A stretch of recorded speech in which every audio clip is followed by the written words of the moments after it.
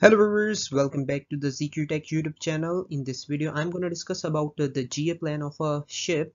So before starting the video, I request all of you guys to subscribe and like this channel.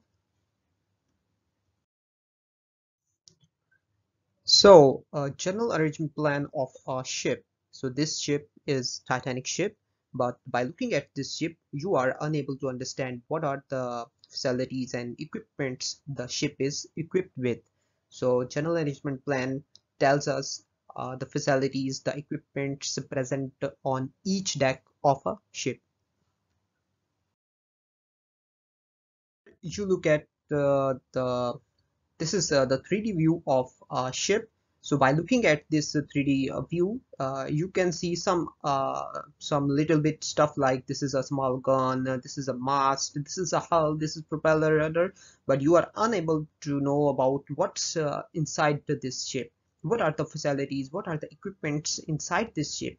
So that's why general arrangement plan plays a very important role and uh, so I have made this patrolling vessel uh, through a software known as Creo. So uh, I made uh, its 3D as well as its 2D general arrangement plans. So this is uh, the general arrangement plan of a ship it is indicated by the GA and uh, so this uh, is the most commonly used general arrangement plan this is the AutoCAD or 2D version of the general arrangement plan and uh, this is the best way to determine what are the facilities that the ship is equipped with. This is the deck general arrangement plan. This is the side view general arrangement plan. This is uh, the front view and back view general arrangement plan. So this uh, different plans uh, combined to make general arrangement plan of a ship So, uh, general arrangement plan determines the location, accommodation, access, offices, control room, storage, tanks, machinery, various equipments the ship is equipped with and where these um, uh, facilities are available in a ship. It's like a map. Uh, the, it's like a home map. So it tells where uh, exactly the facilities are available.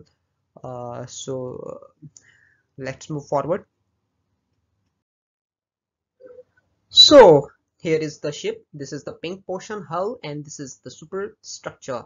So I have divided uh, the ship into number of uh, decks. You can see uh, these are the small lines. These are basically decks.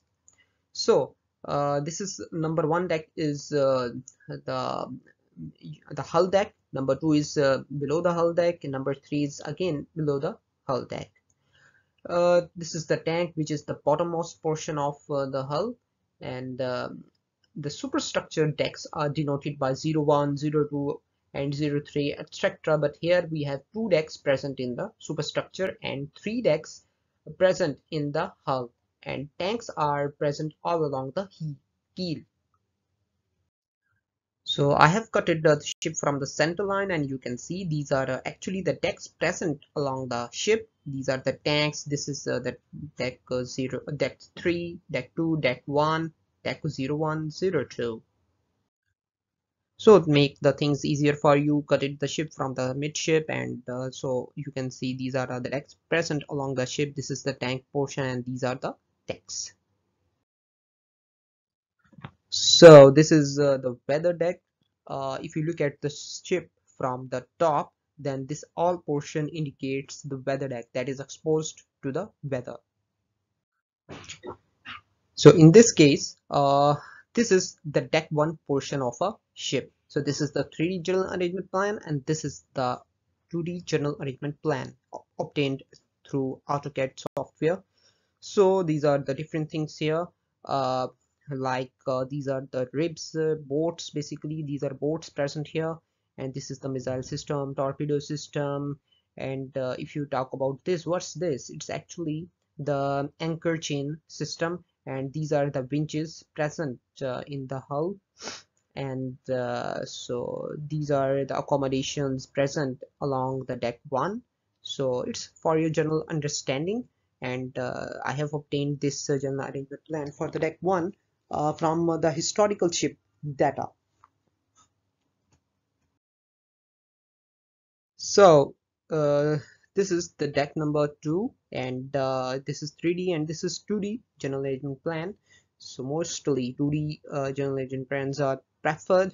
So this is the accommodation portion dining hall galley. Galley is the area where the food is made and this is dining hall for eating the foodstuffs. So this is the gas turbine area and uh, this is these are these are indicating the stairs going downward going downward. These are the stairs and uh, these are the ribs present in the deck one as well as in the deck number two. So these are the same ribs. So move forward. So this is the deck number three. It contains the chill water plant air conditioning system gyro room and the diesel gensets engines this is uh, the gas turbine region gearbox region so these states are indicating that whether you can uh, come into this deck or whether you can go above this deck. So this is the tree arrangement. So this is the bottommost portion of uh, the ship and tanks uh, in the ship is the part of keel or bottommost hull. So these are the tanks oil tanks and uh, so these are the trim tank these are the trim tanks like this is the trim tank. To control the trim in the ship so trim tanks are also important. So most of the ships contains the oil tank the ballast water tanks the water tanks here in the keel portion. So this is the superstructure uh, deck and uh, so this is the deck 01 it contains the cabins of different officers and it's like a small uh, deck so above the deck number 01 is deck 02 so it is also the part of the superstructure contains different accommodations same as almost same as the deck 01 so here's the end of the video. Hope you that you have understand uh, the deck divisions and general management panel for ship. If you have any query you can comment below. Thanks for watching